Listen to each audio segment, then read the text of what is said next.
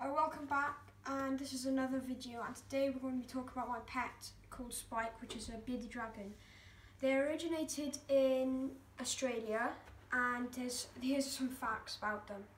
The bearded dragon is a cold-blooded reptile which means most of the days it needs to be sunbathing in the, in the light I have which gives them warmth and that lets it do exercise, eat, and that's how we take them out. His diet every day is about a handful of salad in the morning, and then sometimes in, after two days he gets mealworms. Um, and I'll show you some mealworms. These are the mealworms that he eats. They're not very nice, a bit disgusting. Let's see if he's hungry.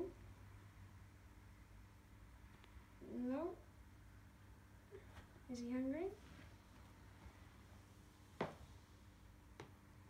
Oh, I don't think he's hungry now. He'll be hungry in the night. That's mostly when he's active because all the light produces uh, energy in his body.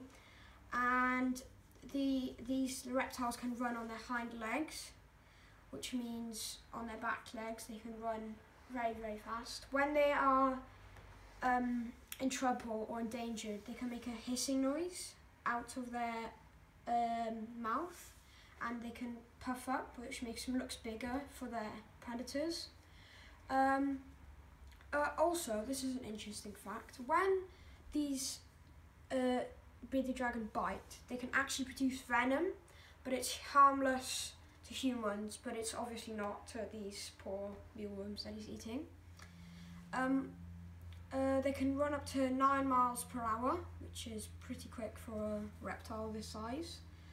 And they obviously love to sunbathe, uh, but we can't take him out a lot because we're in Cardiff because it's not very warm here. And I think that will do for this video. Stay wild. Bye.